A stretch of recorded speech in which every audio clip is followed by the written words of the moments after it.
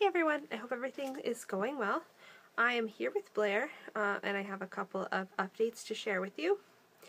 Um, the first is that I have been trying very hard to work on some face ups and um, just get a bit of experience doing blushing, things like that. Um, I'm trying to broaden my skills a bit. So I've been working on face ups. I have a second head that is the same as this um, that I purchased for the face up competition at Anime North.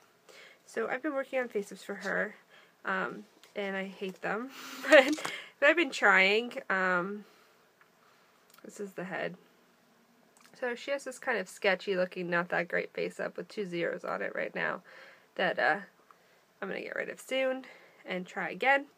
But this was my second attempt, and actually the only reason I ended up sealing it was because I did it at my friend's and she had some pearl powder and it was really cute once I added the sparkle. So I was like, I guess I'll seal this because I really like this sparkly pearl powder and it's definitely something that I want to buy in the future for future face-ups. So that was kind of my fail for the weekend. Um, but I did end up giving Blair a tattoo.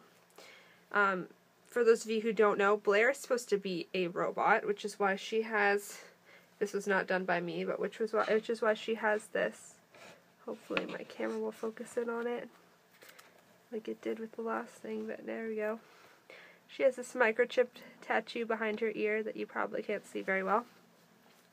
So, um, I also went ahead and gave her like a type of a serial number because um, her name Blair is, I can't even remember what it was supposed to stand for. Um,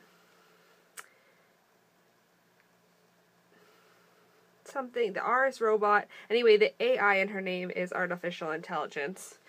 So, see if we can see this here, but I ended up just giving her a little Oh, you really can't see that. A little uh, Blair with the AI um, in red 01 tattoo. That's like her. She's She's the first of her type of robot to the Blair line. Uh, so yeah, and that's why I put two zeros on this head because it was supposed to be kind of like a failed prototype because it's my practice head. Um, as well, I have ordered, I've placed an order for Blair's sister robot. She's going to be a Luts Kid Delf uh, Darin or Darren or however you say that, D-A-R-I-N.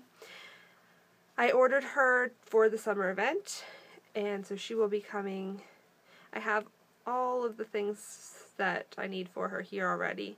Um, I'm ordering basically just the doll and I just ordered a few accessories to push me um, over the price cap for the um, Senior Delf head, which I'm not sure what I'll do with yet, but I wasn't interested at all in the Kid Delf head, event head, so I went ahead and um, placed an order that was large enough to get the Senior Delf head.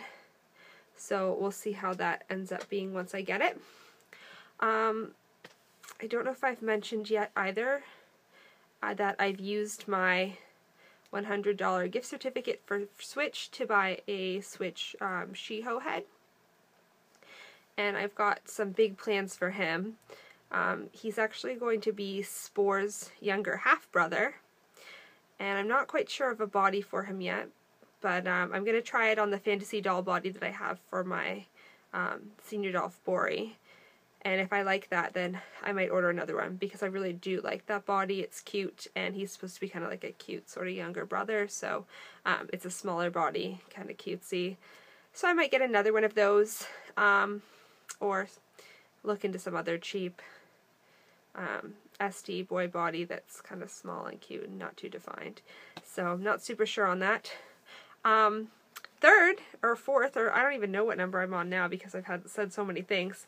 Um, I also have with me my little Monica Enril head that I purchased on a whim off of Facebook, of a seller on Facebook. He's super cute. don't really have any plans for him yet, but he's here with me. Um, I'm kind of thinking of getting a face up for him based a bit on the character um, of the newish anime Sakamoto Desu because I find that anime hilarious and I like I would kind of want him to have a darker face up with a little face birthmark dot thing by his eye. Kind of where I'm looking at right now and I can kind of see the similarities of the sculpt to the character. Um, so he doesn't have a name yet, he doesn't have a body plan, he doesn't have anything. I don't know. I just bought him on a whim because I saw this sculpt. Uh, I saw an owner of this sculpt at a meet before and I loved it. And it was just kind of always the sculpt that I liked. And then when my friend found one for a good price, she linked it to me and I, I jumped on it. So I ended up with him. I haven't tried him on a body or anything yet. So we'll see. No idea for that guy. So, yeah, I think that's all of my news. Oh, one last thing. Um, I still have my Lati tan yellow bear for sale. I can pull, I have her all packaged up down here. Um, and I think I've done a sale video for her before, but um, she's still here and she's really super cute. And whenever I take her out of the package, I kind of don't want to sell her again. And I showed her to my mom. Well, my mom saw me taking new sales pictures of her, and she was like, why are you getting rid of her? She's so cute. Um, but I'm just, the reality of it is I'm just not super into the tinies.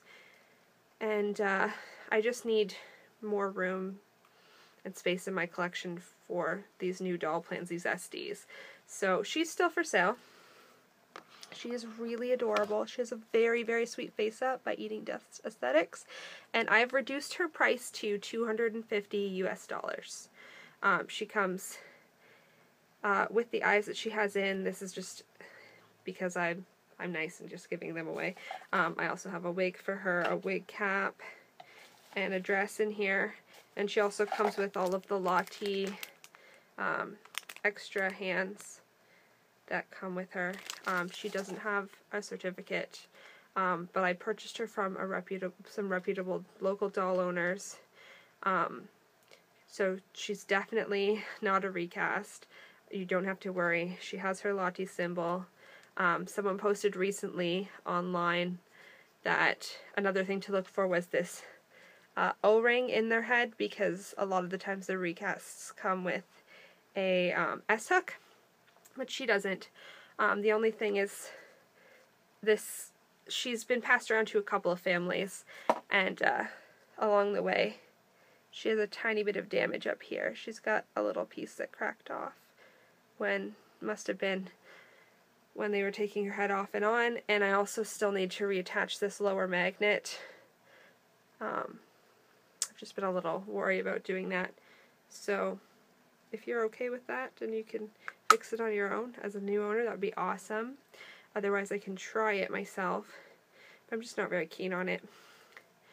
So, she's still here. Um, again, she's a Lati doll light tan bear and with this very, very sweet face up. So please message me if you're interested in her and hopefully we can work out a deal. I'm also open to trades. Uh, specifically for cheap SD bodies at this point because that's what I'm trying to uh, add to my family. So, um, yeah, I think that's all, that's it. I'm hoping this sweetie will find a home.